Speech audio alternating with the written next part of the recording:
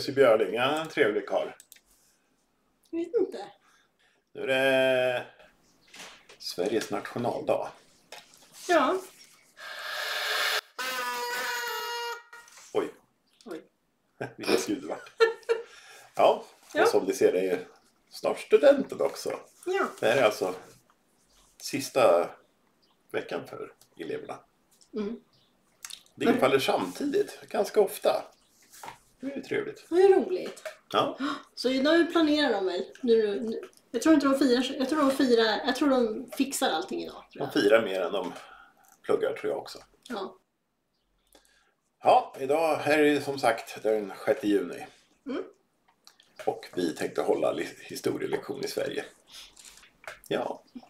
Och så tänkte vi fira lite också. Ja. Ja, vi kanske ska... Vi har faktiskt lite saft här. vi kan ta. Vi har saft. I år blir det nog inte biltema för vi har saft här och lite annat. Biltema. Vi åkte till Biltema förra året. Jaha. Har du glömt det? Nej. Ja, vi tänkte ju försöka ha någonting att säga liksom. Vi ska väl inte visa Ja, vad var det? Jordgubbssaft? Jordgubbssmak. ja, jordgubbssaft. Nej, jag har inte fått in några sponsorer än tyvärr. Nej, Tyvärr. Jag menar, vi kan säkert... mm. ställ inte för höga krav och kasta pengarna på oss så ska vi nog kunna sponsra. Mm. Eller ni kan sponsra och vi kan ta pengarna. Jag vet inte vad vi skulle... Jag vet inte. Ha lite... Mm. Och vi har alltså jordgubbsdricka som är osponsrad. Ja, tyvärr. Ja, men... Ja, häller vi upp lite jordgubbsdricka. Ja.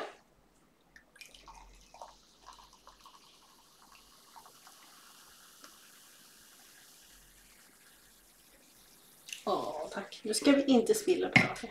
Inte spilla på dator. Det är fördelen när man håller sig i närheten med av datorer och vätska. Ja, det är bra. Precis som det ska vara. Ja. Finns en anledning till att de flesta jobb inte brukar tillåta det. Fast om vi får sponsorer då kan vi ju liksom Köpa bygga upp en studio. Ja. Köpa en inplastad studio. Ja, här vi skålar väl för 6 juni Ja. Skål. och Sverige. Och Sverige.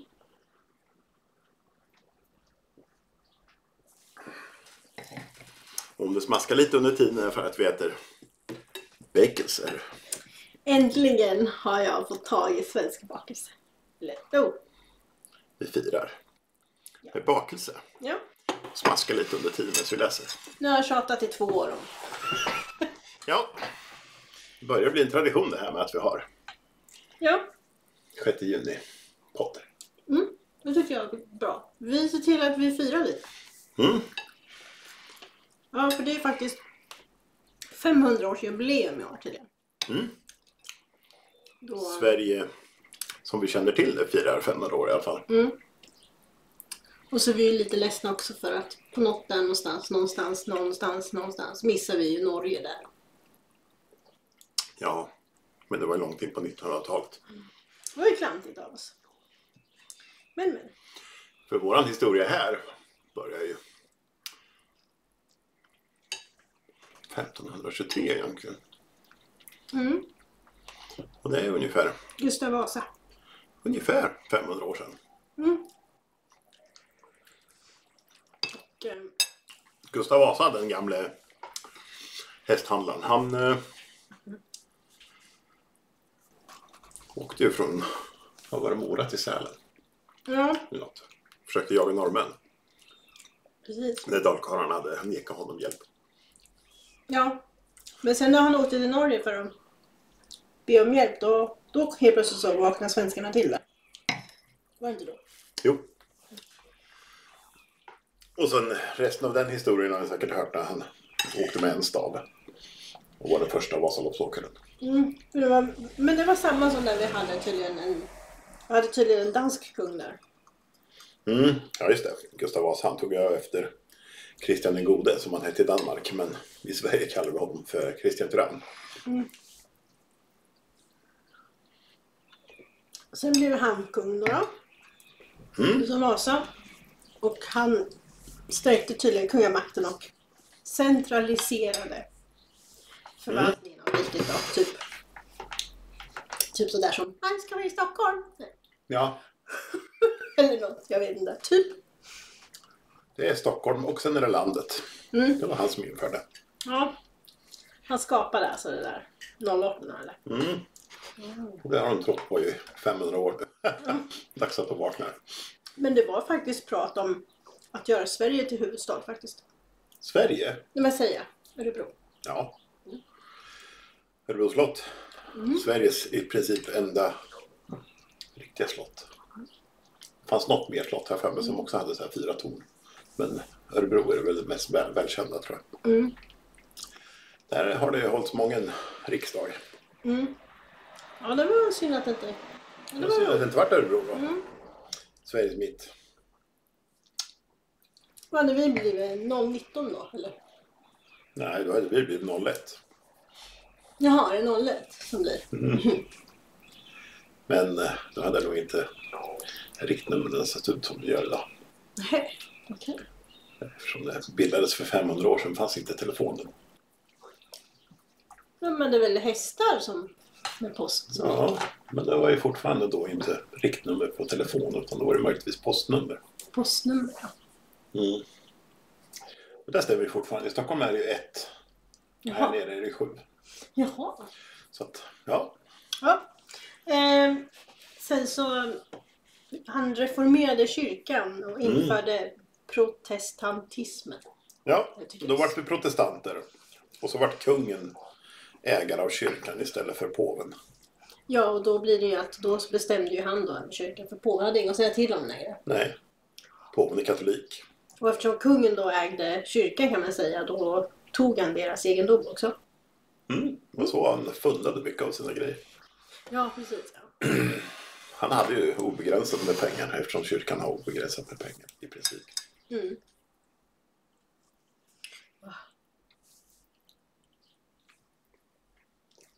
Och så byggde han ju den svenska, upp den svenska militären. Moderniserade den. Och det gjorde han genom att ja, man fick be- betala mer i skatt. Mm. Mm. So it begins. Ja, bönderna var ju inte så glada över det kan man ju säga. Så det var ju flera olika bondeuppror på grund av det. Mm. Det är ju som att det är bönderna som protesterar när det är liksom och färde känns det som. De vill vara fria liksom och bruka sin jord som de vill. Liksom. För han la sig i han la sig väl i skogsavverkning och allt sånt där på grund av centraliseringen också. Jakträtten. Ja, allt sånt skulle redovisas och allt sånt där. De tyckte inte de kunde göra någonting liksom. Och Var känner vi igen det ifrån? Mm, vänta. Har något ändrats? Nej. Det var det största bondeupproret var någonting som hette Dackefejden. Han hette väl Dacke, som Mm. Nils. Dacke, jag för mig att han hette. Mm, mellan 1542 och 1543. Medan Mm. men Dacke förlorade. Den är, det är faktiskt klassat som den största bondeupproret i Nordens historia faktiskt. Det visste jag faktiskt inte. Att det var så pass stort. Ja, Ja, på den tiden var väl folkmängden inte så mycket runt omkring men det var stort på den tiden. jag kan tänka mig att de som inte gjorde som Vasa sa på den tiden, de kanske inte heller mådde så bra. Nej. Och så står det också, var det tydligen också. Då står det så här, trots motstånd från bönder och adel lyckades han samla makt hos en enda person på ett sätt som aldrig skett tidigare i Sverige då. Och då blev det också Sverige ett arvrike. Alltså äldsta sonen ärvde kronan nu då. Mm. Det kommer vi se längre fram att det stämmer ju inte till 100 procent. Men... Nej, men det var han som liksom införde det om man säger. Mm. Och sen istället som tidigare då nya kungar röstades tydligen fram. Mm. Det visste jag inte att man röstades fram. Mm. Mm. Undrar de som röstar på Kristian den gode vad de tänkte då. Ja. De blev som. Gustav Vasas företrädare där. Han, det var ju han som gjorde... Han hade något bad i Stockholm. Ett blodbad tror jag det var. Han före Gustav Vasa. Mm. Christian Lund, Mm. dansken. Kanske Christian Tyrannen ja. Mm. ja. Mm. Det här ja.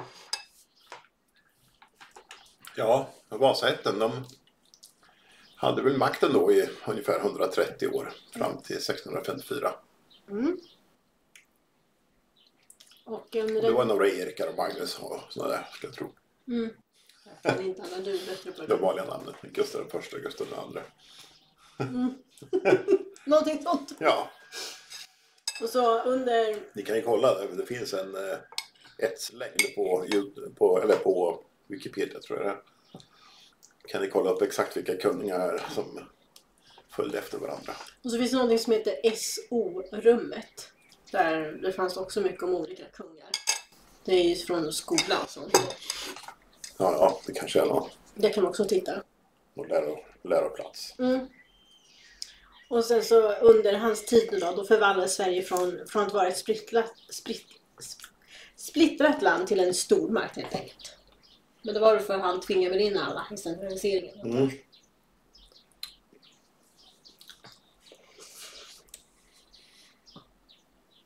Och så står det också att i svensk historia beskrivs han som en landsfader och skapare av svenska nationalstaten. Ett fast sammanhållet Sverige med ett effektivt styre. Andra såg ju honom då som en tyrann istället. Mm. Och det kanske kan vara bönderna som såg honom som tyrann. Ja, Gustav den. Ja. Och adeln va, eller? De var väl inte heller så glada va? Nej, Nej. inte om de skulle förlora makt. Nej, precis. Så hoppar vi till Ja, den gillar ju makt. Mm. Nästa kung är alltså Karl den det, tionde. Gustav. Tionde, Ja, nästa. Ätterad kan man Ja, kalla dem för. ja, inte nästa kung, nästa ätter. Och där blev han då efter sista Vasa ett drottningen Kristina abdikerade. Mm. Hon drog tydligen till, eh, först till Tyskland och sen till Rom. Och hon blev katolik. Ja, Abdikerade och, vad, heter det när man går till en annan tro? Vad heter det? konvertera. Och hon, enligt historieböckerna, det vet man inte, så ville hon egentligen inte regera. Men man vet ju inte, det kan ju vara något annat. Vet, historien den skrivs av vinnarna. Mm. Och redan där var det ju att det var inte tvunget att vara en pojke som var Nej. arvtagare. Mm. Utan det räckte med att det var Den förstfödde. den förstfödde. Och så står då, och han den här Karl den tionde Gustav var då son till falsgreven Johan Casimir av, jag vet inte hur man säger det, Fals Zweibrücken och Karl den niondes dotter Katarina. Jösses vilka namn. Jag tror, det känns som att alla är släkt med alla lite här. Mm. Det är bara banjon som fattas här nu. Så tydligen så var han mest känd den här kungen för i krig mot Danmark. Mm. Inklusive något slags tåg som gick över Lilla och Stora Bält. Jag vet, förstår inte riktigt vad det är. Men. Jo, det var ju på vintern när Lilla Bält och Stora Bält frös. Då tog kungen armén och gick över till Danmark och hälsade på. Jaha, okej. Stora och Lilla Bält är ju vattensamlingar som är mellan Sverige och de danska öarna. Jaha. Och det är inget tåg som går utan de tågar. Hop, hop. Mm.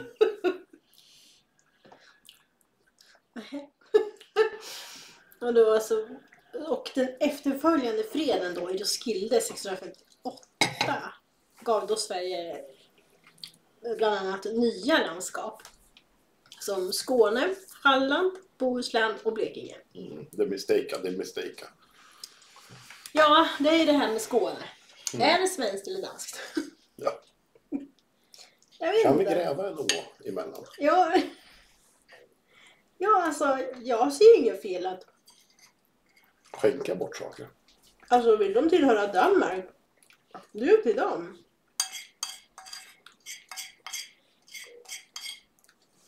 De pratar nästan mer som danskar än svenskar nästan. Mm. Ja, för att veta om någonting tillhör en måste man släppa det fritt. Ja, men det är väl... Nu kommer jag inte ihåg helt vad det handlar om, men det, men det var väl det där att de ville tillhöra Danmark tillbaka, va? de där snapphanarna som... Mm, jag misstänkte att de var med där någonstans. Ja, jag tror de var med där någonstans och försökte. Försökte ta tillbaka till Danmark. Mm. Ja.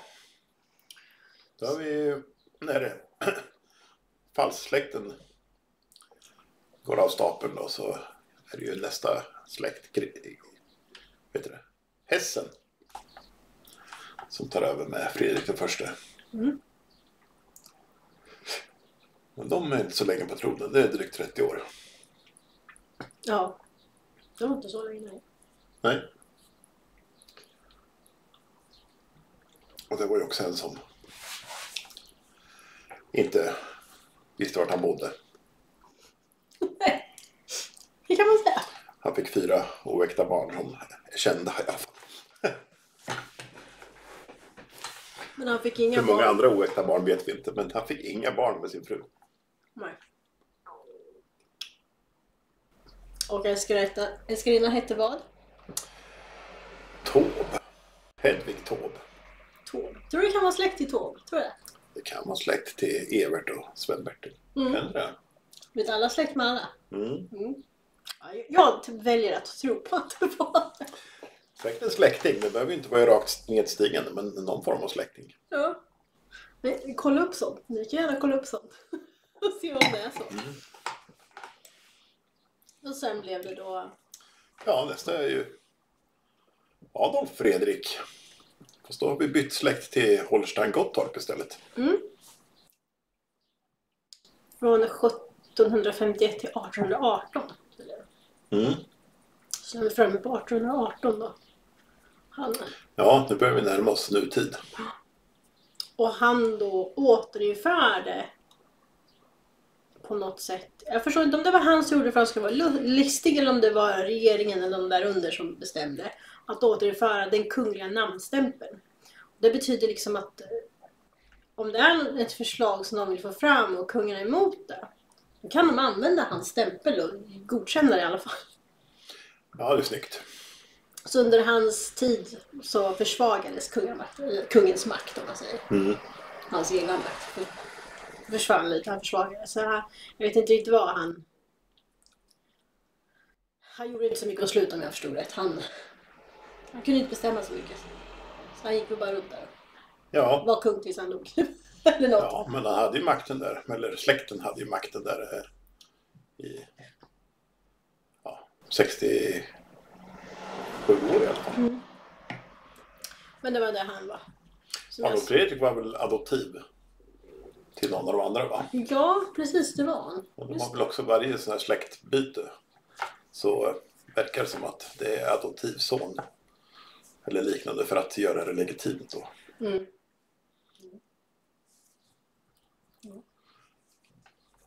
Ja, För nu kommer vi fram till vår egen kungs ett. Det började med Jean-Baptiste Bernadotte 1818. Han kallar sig Karl XIV Johan då. han var kung mellan... Eller ja, ätten var väl... Eller nej, var han kung? Det är den sista Han var ätten, eller sista, det är den nuvarande ätten på Sveriges tron. Mm. Och han växte tydligen upp i någon advokatfamilj i Pau i södra Frankrike. Pau, är inte det ett band? Tepau. Tepau. Tepau. Tepau är ju, kan vi komma på ett sidospår här då. Tepau är ju en av vulkanens, vulkanernas ledare. Det är hon tanten Ja. som ska försöka få Spock att gen- genomgå Kolinar. Mm. Och eh, då fanns det ett band som eh, hade sett den filmen och kallade sig själva för Tepau. Det är coolt. Ja, så Tepau uppträder alltså på flera ställen. Populärt namn tydligen. Mm. Ja, Ja, Karl XIII som var kung. innan honom då. Ja. Adoptivpappa. Han valdes till tillfällig kung på grund av en, ja, att efter en statskupp som avsatte Gustav, vad blir det, den Gustav IV. Adolf, utarbetades en ny regeringsform. Mm. Så den 6 juni 1809 var den klar och antogs av Sveriges fyra stånd då. Adel, präster, borgare och bönder. Och till minne av det så firar vi alltså Sveriges nationaldag den 6 juni. Mm. Så då har vi igen. Nice. Nu är vi- har vi laget runt. Ja. Kom vi tillbaka där vi började. Ja, och då är vi ju framme vid dagens kung. Karl XVI Gustav. Våran kung. Ja. Han tog makten, eller tog makten, han fick makten 1973. Mm. Han är son till Gustav Adolf och Sibylla. Och gifte sig 1976 med Silvia Sommerlath. Mm. Så skaffade sig tre barn. Ja, just det. Victoria, Madde och Kalle. Victoria, Madde och Kalle. Ja, det är väl bara Victoria som räknas nu för tiden. Ja. Eftersom det är hon som är kronprinsessa. Mm. Är andra två. Får de ens apanage längre, de andra två? Inte Madeleine i alla fall. Nej, jag har att de har varit indraget. Mm. Jag tror det bara är Victoria som får. Ja. Det var det vi brukar prata om. Apanage eller socialbidrag, det kan man ju... Ja. Är du fattig då kallas det socialbidrag. Är du förtroendevald då kallas det för ersättning. Är du kung då kallas det för apanage. Men det är fortfarande skattepengar. Och vad heter den där trenden som går? What is... Vad är det som är bra, eller fint om du är rik men fult om du är fattig? Apanage! Mm. ja. Ja, sen efter han tillträdde då 1975 så kom det en ny regeringsform igen. Ja, det var ju i princip det att kungen är en ceremoniell kung. Han har i stort sett ingen makt alls. Han är inte ens talman längre. Utan han, han har ju riksdagens öppnande Ja, han öppnar. och sen är det väl två eller tre grejer till han gör på hela året. Mm, Där han alltså måste delta. mm. Annars är han mer som en diplomat som springer runt kan man säga. Ja, galjonsfigur. Ja. En dyr galjonsfigur men. Mm. Ja, de säger annars måste vi ha en president, men det tycker inte jag att man Jag vet inte varför ha. måste man ha det. Man måste väl inte ha varken det ena eller andra om man Nej. inte vill ha det. Nej. Det väljer väl landet själva. Ja. Nej men det är som att bara för att vissa grejer har varit så ska det alltid vara så liksom. Mm. Men det är också så här att när de moderniserar samhället så går de alltid åt fel håll. Mm. Vi kallar det mer kontrollerande istället. Ja, precis. Men jag tror att eh, kungen har rätt så stort stöd faktiskt just nu. Jag tror inte att stödet för republik är så stort just nu. Hur då menar du? Alltså för Nej, men jag tror att svenska befolkningen, jag tror jag läste det någonstans att de ganska nyligen, att de stödjer ju hellre kungahuset än, En än att, regering att typ ha, nej men typ att ha en president. Alltså ja. ja. Det finns ingen som vill ha president. Vad ska vi ha en president till? Nej. Och de uppför sig ju bättre i kungahuset, alltså som vi ser i alla fall, än vad engelska kungahuset håller på med just nu. Nej men också mest bara trassel där borta. Ja. Det har varit mycket prat om kungar och drottningar, men det är ju så att svensk historia har ju skrivits ur den synvinkeln. Mm. Det är ju inte först nu, de sista, vad är det, tio åren. När internet kom så har ju flera fått skriva sin historia. Däremot så Mm. finns ju allt det här bara digitalt. Så kommer det en EMP så finns ju fortfarande, fortfarande bara det skrivna ordet kvar. Mm, det som kanske skulle överleva som inte på internet då, det är väl... Vet du den där? Som de måste läsa på Island va? Vad heter den? Det är en bok som handlar om vikingarna, eller den historien. Ja, Eddorna menar du? Mm, precis. De, det är ju någonting, det får de faktiskt lära sig i skolan.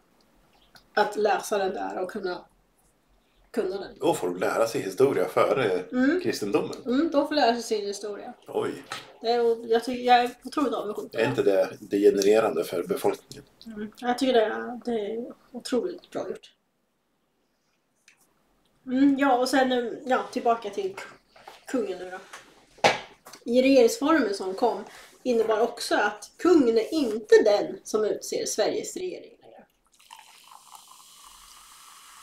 Så att, ja. Är det bra eller dåligt? Jag vet inte. Ja, Det beror på, har man en bra kung eller har man en galen kung? Ja, Det vet man ju aldrig liksom. nej, kungar som har fått oinskränkt makt har ju oftast varit oinskränkt korkade också. Ja. kan man ju se på varenda ledare. Ta lille Kim där i Korea. Ja. Han verkar inte ha blivit friskare av att få all makt. Det är hans syster verkar inte ett dugg bättre än honom heller. Nej, Och då har ju ändå han studerat i väster, om man säger. i US- Var han i USA längre än att studera? Kommer inte ihåg. kommer inte ihåg. Jag Mm. Mm. Och det har det har varit inget bättre. Absolut makt är att sträva efter för resten av folket. Men bara om jag får makten. Mm. Men jag fick bestämma. Åh. Det ska bli ordning på det här. I alla fall. Så 1980 så förändrades Sveriges... Jag vet inte, säger man? Jag tror det kallas successionsordningen. Som gjorde att, som vi sa förr, då kunde ju den förstfödda, oavsett om det var man eller kvinna, men av någon anledning på vägen så har det blivit att det bara, bara den förstfödde sonen som får tronföljden. Mm. Men nu ändrades det tillbaka till det korrekta. Att det är den förstfödde som får tronföljden. Så det vart Victoria kronprinsessa strax några år efter sin egen födelse. Mm. Så hon var inte kronprinsessa från början utan hon blev det. Ja, hon föddes 77 och Mm. 1980 kom den nya. Och då hon blev kronprinsessa. Och om jag... Skvallret som gick som jag hörde när jag var liten, då var det att kungen gillade inte det där. Nej, och det är konstigt eftersom det var så förr i världen. Och jag tycker ju liksom att... Eh, jag tycker ju Victoria passar som bättre än de andra. Mm. Tycker jag. Liksom. Men jag vet inte. Ja, Victoria känns det som den mest ansvarsfulla av de tre. Ja, Åtminstone den bilden vi har fått till oss. ja precis. Alltså, hon verkar vara duktig och sådär. Och Mm. håller sig lugn. Beter sig inte så mycket. Vi avslutar väl podden här med att våran kung, Karl den 16, är ju den sjunde regenten av huset Bernadotte. Han är ju då sedan 26 april 2018 den längst regerande monarken i Sveriges historia. Han håller sig levande och har inte blivit Han har inte blivit skjuten i ryggen och inte huggen i ryggen. Eller äter ärtsoppa eller Nej, vad mer? Undan för Karl. Det var ju faktiskt, eh, det visste jag faktiskt inte att han var. Och han tappar inte bort sig någon timma heller va? Nej, nej precis. Nej, så att eh, det visste jag inte att han var den längst regerande monarken. Jo, han blev det då för några år sedan. Ja, 2018. Det är helt otroligt. Ja. Great job to you. Ja, det, vi har inte gjort revolutionen så länge. Jag tror inte att vi skulle ens gå emot kungen om vi gjorde en revolution. Svenskar. Nej, i och med att kungen inte har någon makt så är det ingen idé att göra revolution mot kungen. Nej, han, han har ingenting att säga till om ändå. Alltså, Nej. jag menar, skulle man ta honom till fånga? Ja, då skulle politikerna bara, jaha, vad, har vi med det? Mm. ja, Precis. Vi betalar inte ut lösensumma. det rör inte oss. Nej, Så, han kommer nog sitta kvar. vi har för många eh, säckar att fylla här hos oss själva så att vi kan inte ge ut någon lösensumma. Och struntar fullständigt i honom. Det tror jag med. Det skulle inte bli något speciellt. Ja, nu var vi framme i nutid. Ja, Vad säger du? Har vi något mer att berätta eller ska vi skåla för Sverige en gång sista gång? och vi säger hej till alla nya prenumeranter kanske? Ja, Tackar för att ni har tittat så mycket på en del av filmerna. Jag Precis. förstår att det kanske är lite olika vad ni gillar, men vi tackar för att ni tittar. Ja. Ni får gärna göra tumme upp och sådana saker också. Och som sagt, vi har, fler, eh, vi har två videos från andra år som vi har pratat lite på nationella. Mm. Ni kan kolla in det också. Ja, det borde väl bli någonstans där va? Så de där rutorna kommer upp. Ja, någonstans. Mitt i ditt ansikte borde det vara. Mitt i plitet. Mm. Ja. Ja, nej, vi tackar väl för det här och så skålar vi för Sverige. Ja, nu får ni ut och fira och ha en riktigt rolig dag här nu. Ja, Skål! Oj, syns jag? ja. Skål för Sverige!